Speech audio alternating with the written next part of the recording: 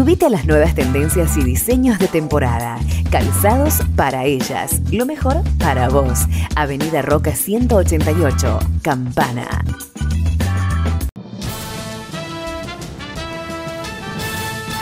La reunión fue un poco por la, situación de la educación actual, ¿no? que ha sido detonada en el tema de infraestructura por el fallecimiento de estas dos personas en Moreno, pero que es un tema que se viene reclamando y se viene planteando desde hace muchísimo tiempo visto lo que pasó, digamos, ya no, queda, no, no, quedan excusas para que nosotros también podamos intervenir. O sea, fallecieron dos personas. Esto ya nos habilita a nosotros como concejales, más allá que sean establecimientos provinciales, a pedir nuestra, nuestra información, a querer hacer un relevamiento propio del déficit de, infraestructura escolar que tiene la ciudad de Campana hacer un registro propio de todas esas eh, demandas insatisfechas. A la educación no le están prestando atención, digamos, creo que están queriendo hacer modificaciones sin todavía consensuar con los actores y los protagonistas de la educación pública en la provincia de Buenos Aires. Vemos que todavía no está resuelto el tema de, los de, las paritarias docentes.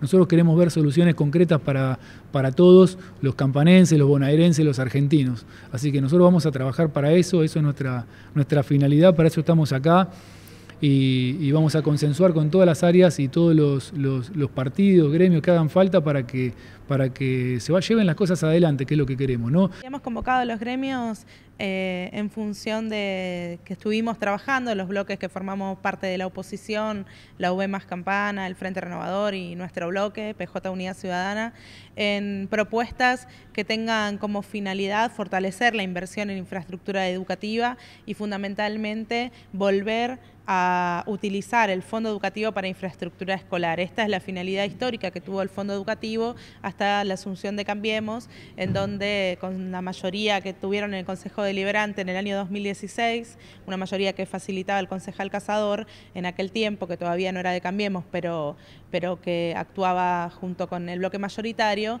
eh, se cambió la finalidad del Fondo Educativo y, por ejemplo, se destinen millones de pesos en alquileres de gazebos, em, eventos culturales, en pagos a bandas de música. La intención es volver a restringir la finalidad del fondo y vincularlo directamente con la necesidad educativa, una necesidad que va a surgir de una comisión que pretendemos conformar en donde los gremios docentes tengan participación y por supuesto la Dirección de Infraestructura Escolar de la Municipalidad de Campana. El motivo es la realidad que viven los distintos establecimientos educativos, la, la carencia, la problemática en infraestructura eh, hoy se ven plasmado y, parece más dramático aún porque eh, realmente lo, sucedieron hechos que son muy tristes, como la muerte de dos personas en Moreno.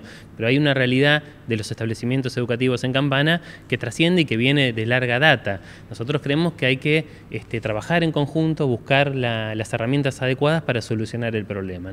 Hay un apriete que, no deja trabajar a los directivos de las distintas escuelas, que no los dejan comunicar, y es la política que está llevando este gobierno. No quiere mostrar el, feroz recorte que está tomando con respecto a la educación pública y, al estado que están hoy los, establecimientos, que se realice un diagnóstico real. Eh, si es necesario utilizar y articular la, la, Secretaría de Obras Públicas con la educación y que se realice un diagnóstico real de cómo se encuentran los establecimientos educativos.